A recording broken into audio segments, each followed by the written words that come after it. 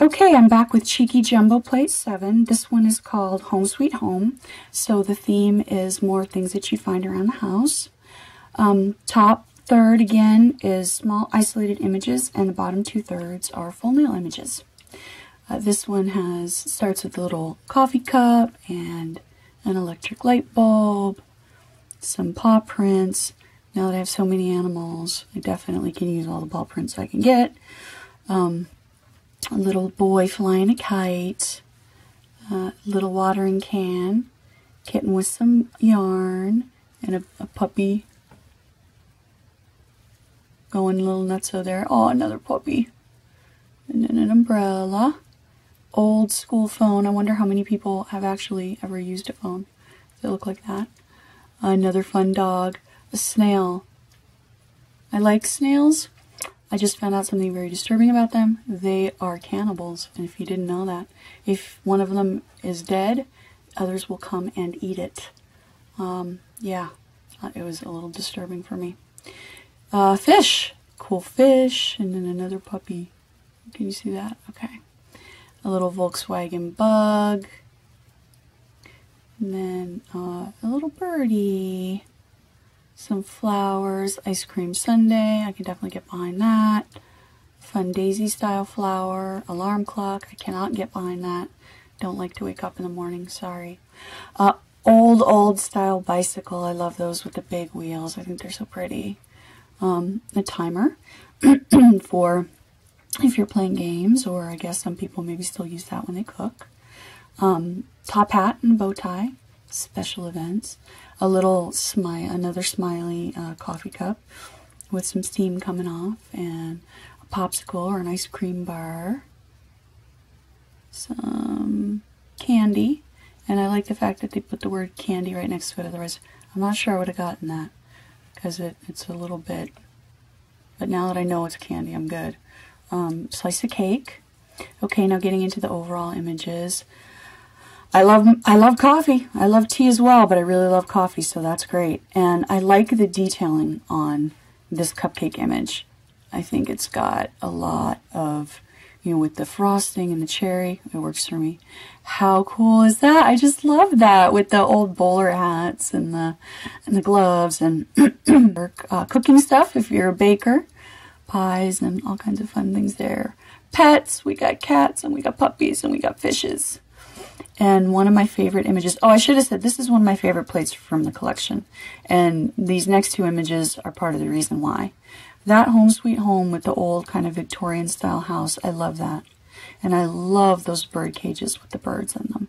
So pretty and cute, but also elegant and nice. Um, some roses in case uh, you're like me and you're not the best at freehanding them.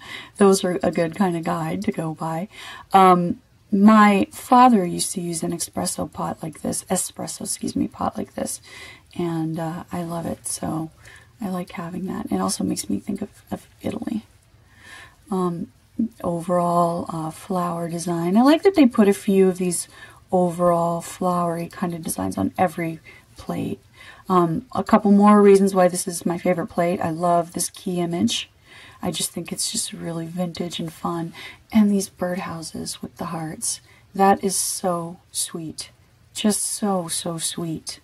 Um, candy, and then M&M's, another kind of candy. Although it doesn't say M&M, but we all know it's M&M's. That it's prob well, we all let's put it this way: we all know that you could use it for M&M's.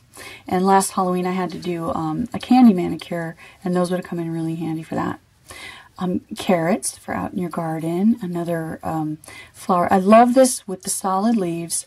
I don't have a lot of stuff that has solid leaves. And then the little kind of berries on there that you could do in all kinds of different colors. Um, those look like eggplants to me, so I'm going with eggplant.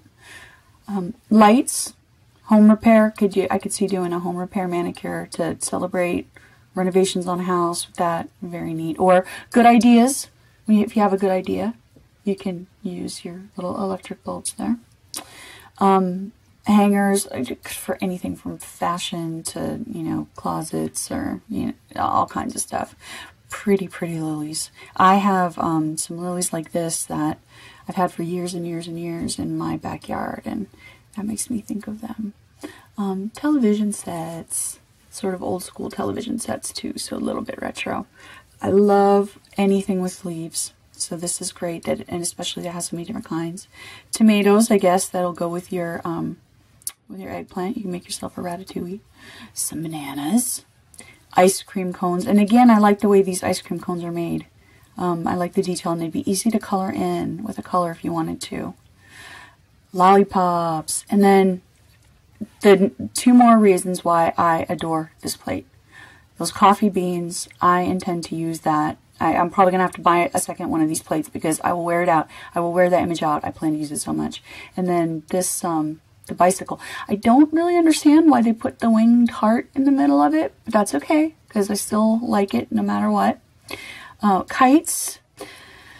Last year I was in a summer challenge and I needed a kite and I didn't have a kite. So it's funny how you get in these challenges and you realize all of this stuff that uh, you don't have. Um, little cupcakes that have smiley faces for you. Um, and I, I, I said it before, I'll say it again. I love these images with the words.